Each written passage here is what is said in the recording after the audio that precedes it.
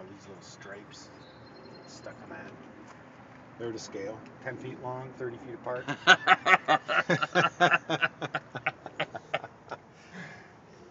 That 24 inch stop bar there, Bob? Or? yeah, 24 inch stop bar. Uh, Yeah. okay. That's very cool. And this is, you know, this is showing the cars were going this way. But if you look at photographs of it now, this is this is really a one way this way. That's that's that's why there's a stop bar across here. Yeah, but back then, you know. They just Close stopped, it the. they closed it off and then they just did this, you know. Mhm. And in fact, we found out that Kennedy was actually supposed to go right through here.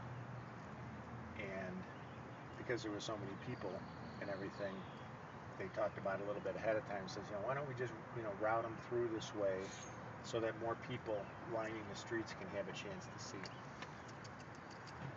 So that that was a bad decision they made because if he was going this way, chances are he couldn't have shot him from there.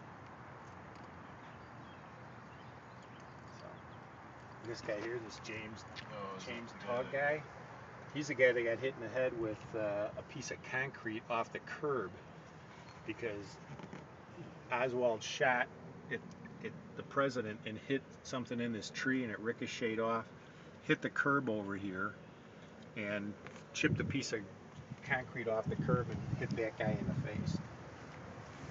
So those are all the uh,